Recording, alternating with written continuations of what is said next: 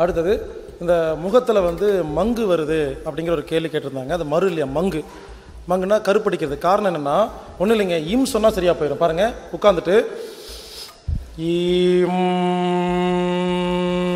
இம்முன்னு சொல்லும் பொழுது உங்கள் முழு கவனமும் முகத்துக்கு வரணும்.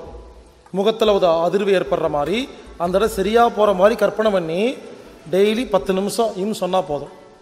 எனக்கு தெரிஞ்ச ஒருத்தங்க கோயம்புத்தூரில் குக்கர் வெடித்து முகமெல்லாம் அப்படி விகாரம் ஆயிடுச்சு அவங்கள கூட்டு வந்து நிறுத்துகிறேன் யாருமே நம்ப மாட்டீங்க.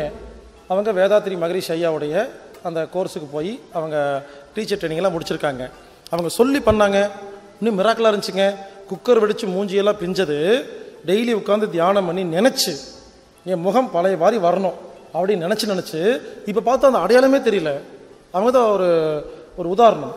ஸோ நினச்சா வரும். இந்த நடிகர் நடிகையெல்லாம் ஏன் அழகாக இருக்காங்க? டெய்லி நினச்சிட்டே இருக்காங்க. நினச்சா இருப்பாங்க. நினப்பு தான் வேற ஒன்றும் இல்லை.